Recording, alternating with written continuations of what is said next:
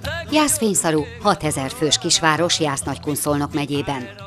A szerep nélküli településből, ahogy polgármester asszonya fogalmazott, az elmúlt években jelentős ipari parki háttérre rendelkező fejlődő város lett, ahol a hagyományok tisztelete és a gazdasági fejlesztések egyaránt fontosak.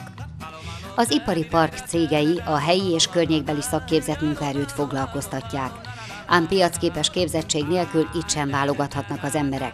Számukra a közmunka marad. Jászfényszarun, mióta Mária Terézia engedélyezte a cigányok letelepedését, élnek roma családok.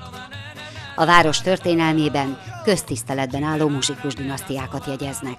két világháború között, és még valamennyivel később is, a zenészek, ezek tanult zenészekről beszélünk ám a primásokat illetően, hozzá tartoztak a település kulturális életéhez, ünnepköreihez, szokásaihoz, és nagyon érdekes volt számomra, amikor Adolf bácsi, aki jelen pillanatban és még nagyon szépen meg tudja szólaltatni a hangszerét, megkérdeztem, hogy és melyik unokája tud zenélni, azt mondta, hogy hát nem akartak cigányok lenni.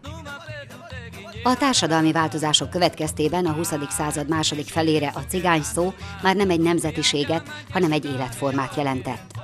Jászfényszarú településfejlesztési programjában magától értetődően szerepel, hogy a szótári alak jelentését állítsa vissza a köztudatba. A muzsikus dinasztiák jelen pillanatban, és jelen vannak, hála Istennek nagy számban, beköltözésekkel viszont olyan a helyi kultúrát, szokásokat nem ismerő populáció is jelentkezett, akiknek a, a nevelésük folyamatban van, ugyanis én egészen biztos vagyok abban, hogy akár milyen származástól függetlenül a helyek közösség kultúrája és annak szokásrendje az egy erkölcsileg nevelő környezetet jelent, és én biztos vagyok abban, hogy itt a jászfényszori közösség, hangsúlyozom, Jászfényszorú teljes közössége képes arra, hogy azokat a szokásokat, amelyek nem voltak jelen korábban, azokat megszüntesse képzésekkel, illetve ö,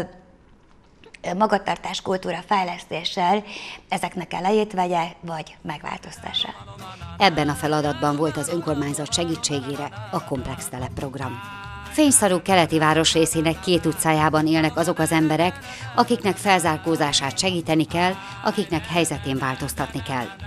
A szegregáció felszámolásait semmiképpen sem bontást, hanem építést, fejlesztést jelent. Ott, ahol arra szükség van. Aki azon a, azon a városrészen nevelkedett fel, annak a, az udvarában az az a párfa a legszebb, ami, amit kisgyerekkorában látott. A szegregáció az nem attól szűnik meg, hogy földig romboljuk, hanem attól, hogy a gyerekeknek a képzése, viselkedése, szakmája, egészsége, lakáskultúrája olyanná válik, amely, amely után már nem lehet úgy definiálni az ott élő lakos, hogy szegregátumnak a tagja. Ez mindig egy komplex problematika. Ugye az oktatástól elkezdve foglalkoztatás, különböző kompetenciák hiánya, és hát ez a program az az, az egyetlen program, amely mindezen problémákra választ tud adni, hogyha az megfelelően van előkészítve. A program minden elemében megjelent a város integrációs törekvése. A képzések szervezésénél a nyílt munkaerőpiac igényein kívül figyelembe vették az alakuló szociális szövetkezet szükségleteit, valamint a helyi igényeket is. Horváth Nikoletta nőtársaival közösen kérte a konyhai kisegítőképzést. Most a, a régi kaszinó étterem is újraépült, akkor van pizzéria itt Jászfényszalon, és a Samsung gyárban vannak meleg konyhai étkeztetés, és hogy ezzel a konyhai kisegítő tanfolyammal, hogy jobban el tudunk helyezkedni itt helyben. Összesen a szakmai és a nem szakmai képzésünkön 137 fő került bevonásra, ebből három fő morzsolódott le, az összes többi befejezte, aki a közfoglalkoztatásban volt, az ki tudott lépni az elsődleges munkaerőpiacra. A program révén humán szolgáltatásokat nyújtó csillagpontot alakítottak ki a szegregált városrészben, és csillagházat a város és a hátrányos helyzetben lévő településrész határán lévő téren.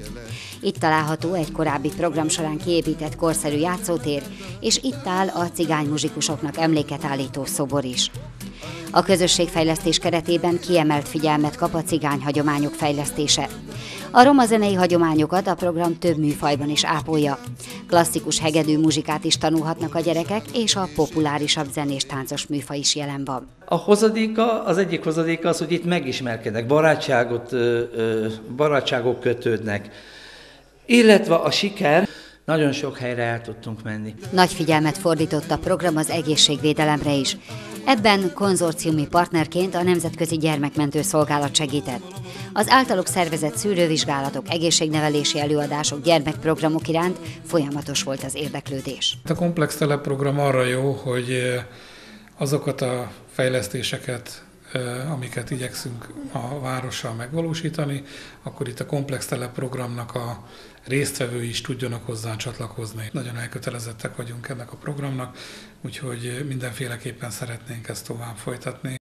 Készült a Tőr István Képző és Kutatóintézet megbízásából, a Széchenyi 2020 támogatásával.